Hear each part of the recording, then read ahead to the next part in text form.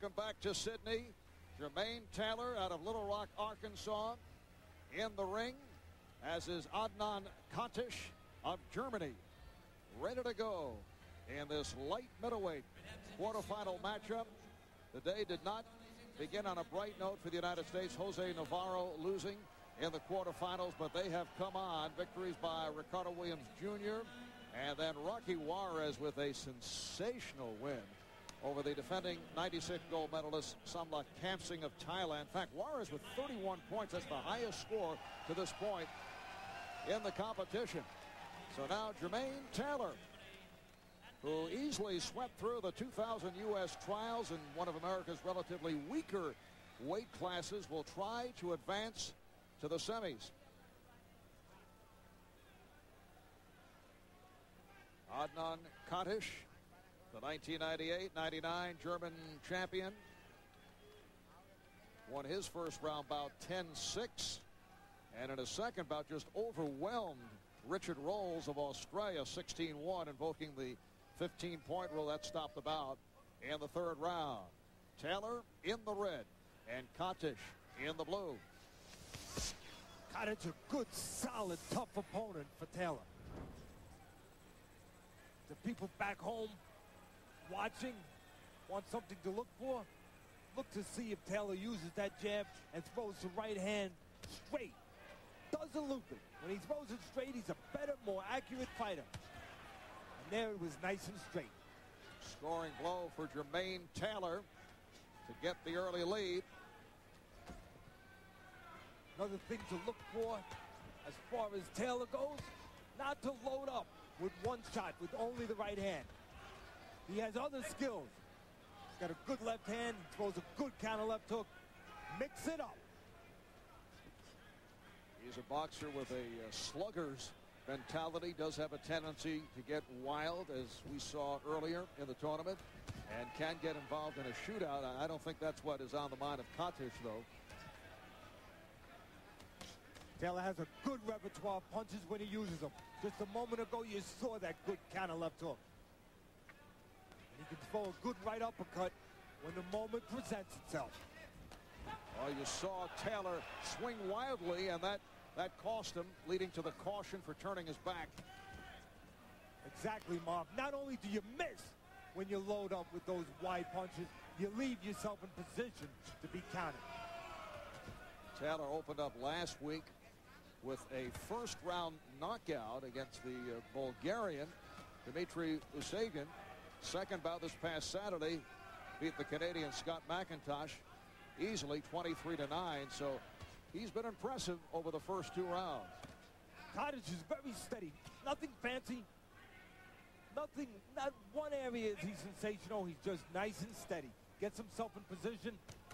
He's looking to time the quicker uh, Taylor.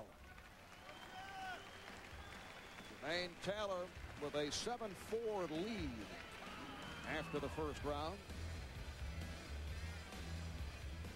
Wayne Taylor trying to join teammates, bantamweight Clarence Vinson, light welterweight, Ricardo Williams Jr., featherweight Rocky Juarez in the semifinals. There's a jab to straight right hand and finishing with the left hook, Jermaine Taylor. And there was a show of the looping right hand. Showing both right hands that time, Jermaine Taylor. Jermaine Taylor began boxing at the age of 12, also ran track in high school in Little Rock. The University of Arkansas had interest in Jermaine as a, as a track man, but his first love was boxing, so he headed to Northern Michigan University, one of several American boxers attending Northern Michigan. That's a very good program, a terrific idea by the Olympic Committee. It allows young men to get an education if they athletically are inclined and they continue training towards the Olympics, they get an opportunity to get a free education and terrific training facility where they can concentrate on what they have to do. Meanwhile, Catic has, has come on. He's within one point and a caution against Catic for leading with his head. He's doing it the old-fashioned way, Catic. He gets into position, and he looks to punch at the right time. His reach is not as long as Taylor's. He is not as quick as Taylor. He is nice and steady. He sees things well. He knows when to punch, like right there. He allowed Taylor to commit himself, get out of position, then he attacked. Taylor caution for a hold. Just under one minute left in the second round. Catic knows what he can do and what he can't do. He stays with him within himself very well. And he's always thinking. He has to. He doesn't have tremendous athletic ability or tremendous physical assets. Catic able to tie it momentarily. Jermaine Taylor landing the right and again for the two-point lead.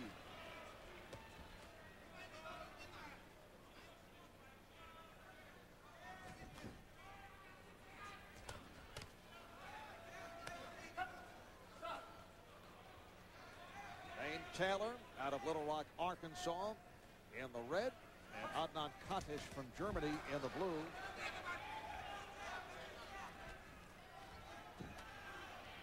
Catic trying to back up Taylor. And again, knows he's not faster. Seeing if he can use timing to take away the speed advantage of Taylor. Watch how Catic will sneak himself into position and then look to time the punches of Taylor.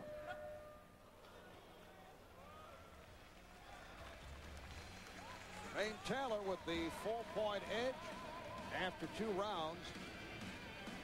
Waiting in the wings is Nurmagomedov Ibrahimov out of Kazakhstan who eliminated Juan Hernandez of Cuba. The Cubans losing their fourth straight bout in the quarterfinals.